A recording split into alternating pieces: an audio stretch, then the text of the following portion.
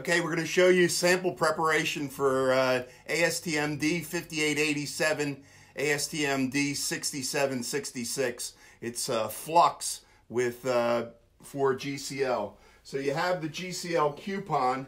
Uh, the trick is to take that coupon and uh, prepare it into a uh, specimen. This specimen needs to be 100 millimeters. You can cut that out with a steel rule die, or we like these Maverick dies, which are um, extractable. It extracts us for it. The trick is to, around the base of the die, is to put a little water so you can get a little containment of the clay within the, uh, the, the specimen. So here we have it set up.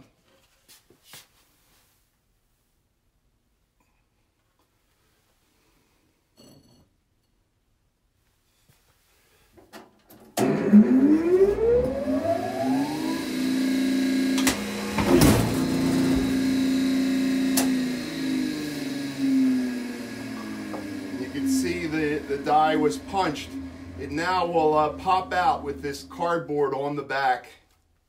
So you have your sample. And now what you need to do with this sample is uh, make your sandwich. You start with a uh, platen. This is the lower platen for the flux apparatus. Uh, you then need to go with a uh, porous stone. The, on top of the porous stone has to be a uh, filter paper. Uh, helps a little bit if you uh, saturate things. Filter paper will adhere. You then need to go with the GCL specimen and then uh, repeat with filter paper and now the porous stone. So this is your sandwich Unfortunately, what you have to do is you have to make sure that there's no end run around here. So typically you take a dental tool and uh, cut out any fibers and then subsequently putty this with some uh, supplemental uh, clay. You don't want to get it too much in the porous stone, but you want to uh, fill this in so that you're, uh, you're not having any sidewall leakage. This is very important in the preparation procedure. You'll then place this on the bottom cap and get ready for uh, running your equipment. I'll show you this uh, when we move into the hydraulics laboratory. But a very important thing is when you have uh, needle punch non-woven textiles involved, these low denier fibers can communicate between the upper and lower textiles and you have to assure that that does not happen. So this is specimen preparation. Okay, we're now in the hydraulics lab of GSI and we're going to uh, set up the uh, flux specimens uh, with the, from the GCLs. We showed you the sample preparation and we had this sandwich made. This whole system will be flipped over and then placed on the lower platen. We then need to uh, strap a latex, um, a flexible membrane around this entire uh, specimen setup. And that's done, it takes a little while with a little practice, a little bit of vacuum grease, very little, around the outside perimeter. We take the O-rings and adhere them to the uh, platens, top and bottom, and then you'll hook this up. But this is the uh, specimen preparation uh, prior to assembling the cell. So uh, we go from outside preparation to assembling this. And now we'll put the jacket on, which is on the outside. This housing on the outside. You then need to put a top on. And then this is uh, harnessed or strapped with these rods, top and bottom. This is a, a uh, flex wall permeameter by Trautwein. Uh, Steve Trautwein was an old classmate of mine at Drexel. Uh, and this is really fantastic equipment. Uh, it's very easy to work with and uh, is extremely rugged. Okay, the cell has been assembled now. Uh, everything is tightened down and it's watertight. What you need to do is fill the, the chamber the annulus, uh, the jacket around the uh, specimen. You uh, fill this with tap water. You have to uh, place a vent in the top of it to let the air escape. Uh, we placed a line into the fill chamber and you can see the water coming up and it's flooding the outside of the, uh, the flex wall specimen that's inside of it. You'll wait until the water rises and takes all the air out of the specimen. Okay, we're ready to hook it up to the apparatus now. We're uh, fortunate here at GSI to have actually three individual setups. This setup here is uh, to this particular cell.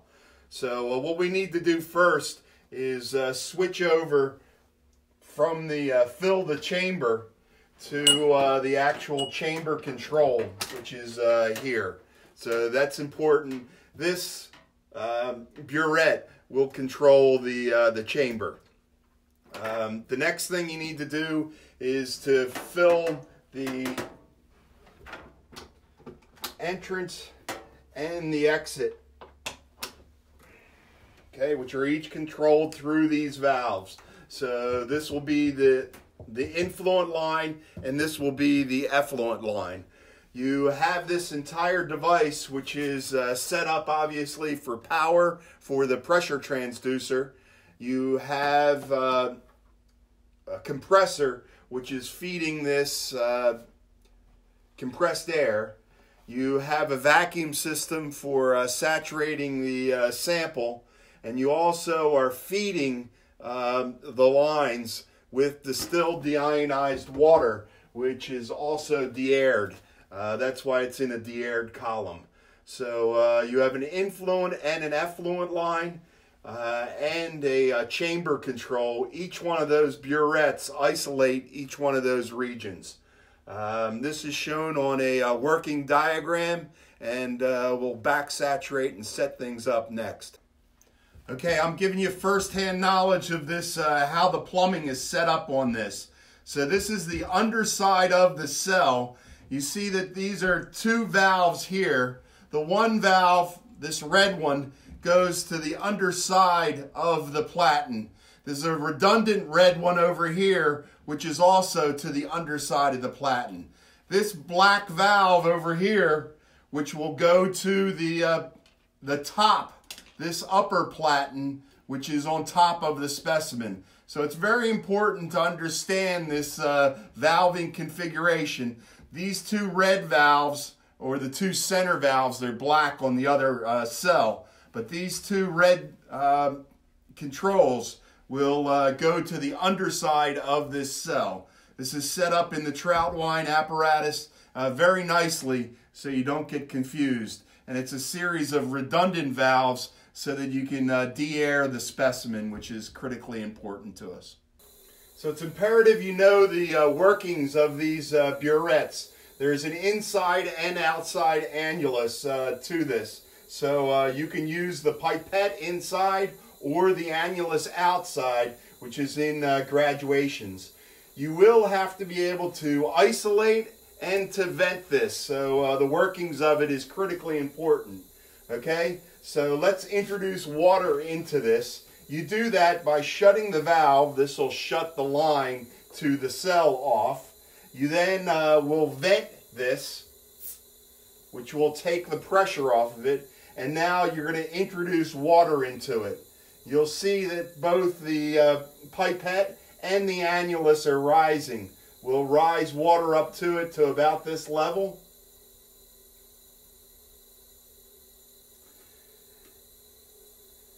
And then subsequently shut the water off.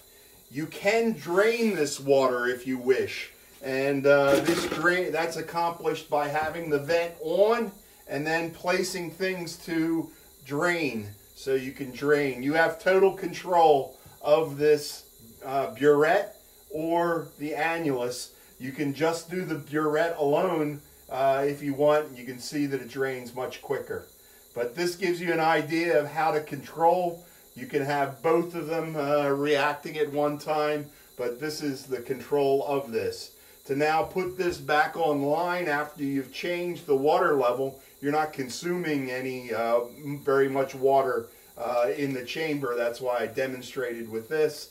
Uh, you would move the, the line to pressure and then subsequently put the valve back on and uh, you'd have things ready. You'd be exerting the, the pressure off of your uh, regulator, which is uh, recorded on this, and this is how you would control it.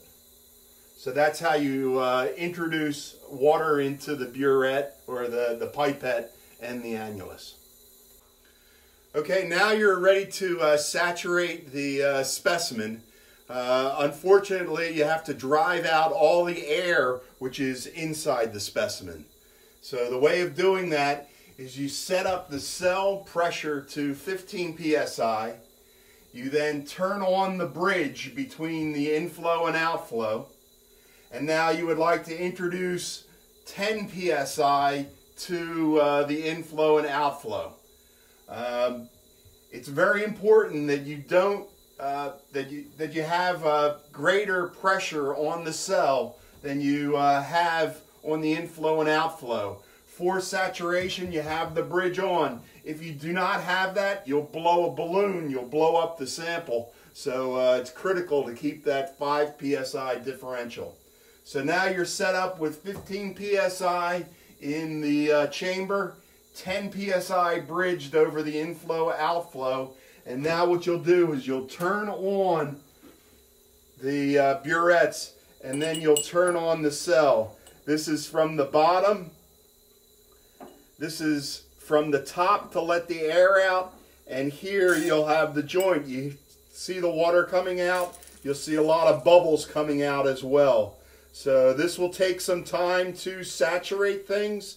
And uh, you do it under these conditions of a 5 psi differential.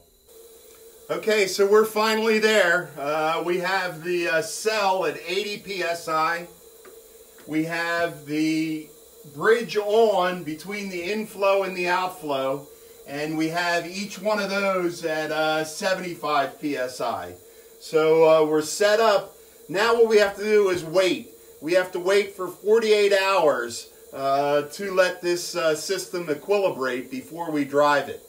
Okay, so we'll be back in uh, two days to uh, talk with you and let this thing equilibrate prior to, uh, you know, running the sample. Okay, it's two days later now, and what we have is the uh, sample that's set up. We're now ready to drive this. And what, how we need to drive it is with a pressure differential.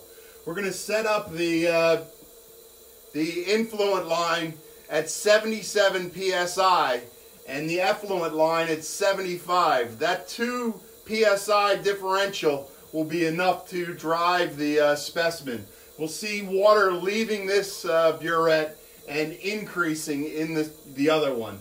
To do that, you have to turn the, uh, the bridge off and then increase the pressure in the effluent line um, 2 psi. We've done that now and now you'll see the pressure rise in uh, the effluent line and the, the, the volume decrease in this line. You will now run the specimen and what you're looking for is uh, you'll run it over a period of eight uh, hours to maybe even up to 40 hours. Uh, what you're looking for is the ratio from inflow to outflow to be between 0.75 and 1.25. You would really like it to be very close to 1. In addition to that, you should see no significant trends in the, uh, the data, the, uh, the trend over time. And this trend, you can't see an up or down trend in flow over three consecutive readings. Obviously, the closer to inflow to outflow, the better but uh, you'll just drive the test into there. Okay, uh, now we'll, uh, we'll run the test for the next 8 to 40 hours, and then I'll show you the test uh, specimen disassemble.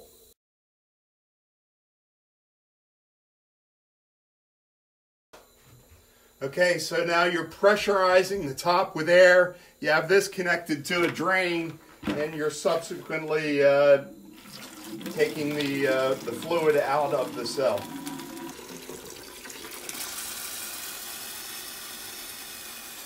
Okay, the uh, now we're driving air out, so everything is fine. It's uh, no longer water in the cell, and now we can disassemble the cell.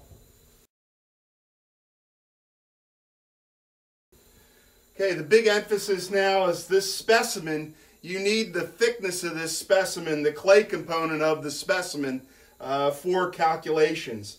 So what you need to do is you need to get into uh, the specimen uh, post-test which is important. So you're disassembling the material and this GCL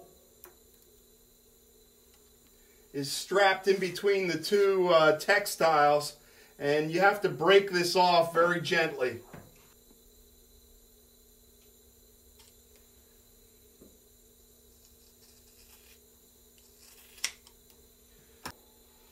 Okay, you're going to need the thickness of the clay uh, with inside the GCL for some calculations uh, for the, the flux to permeability. The way you do that is you've uh, sectioned the, uh, the specimen. You can see I've cut it in half. And then subsequently the clay component, you have to leave the textiles out. So in this particular case, it's about 0.18 inches in uh, thickness after the test and you'll need this uh, dimension to uh, change flux into permeability of centimeters per second. Okay, this is ASTM D5887. Uh, we also can run uh, a flux with uh, salt water, and that's ASTM D6766.